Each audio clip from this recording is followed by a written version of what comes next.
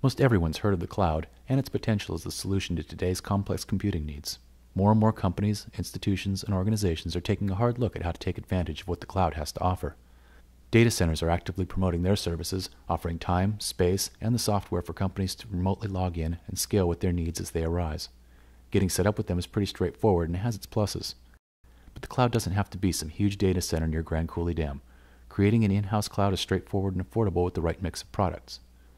Servers Direct, a reseller out of City of Industry, California, developed a great cloud solution that offers speed, scalability, storage, and a host of options.